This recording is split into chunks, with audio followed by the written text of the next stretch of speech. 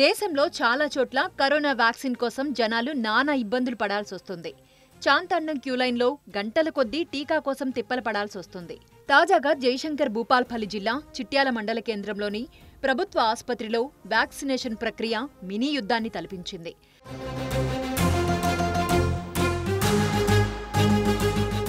ప్రజలు వ్యాక్సిన్ కోసం బారులు తీరారు.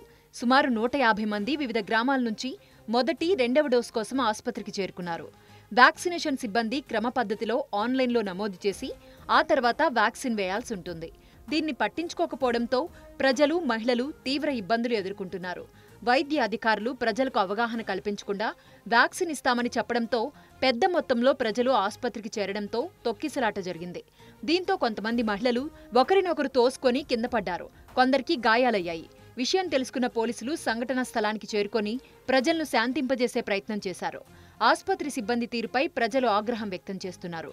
వ్యాక్సిన్ కొరత వల్లే ఇలాంటి సమస్యలు ఎదుర్కోవాల్సి వస్తుందని జిల్లా కలెక్టర్ స్పందించి సరిపడ వ్యాక్సినేషన్ను అందుబాటులో ఉంచాలని ప్రజలు కోరుతున్నారు.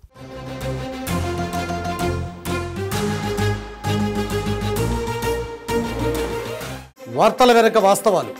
Flash point. సాయంత్రం ఐదు గంటలకి. నంబర్ వన్ మాత్రమే కాదు అంతకు మించి.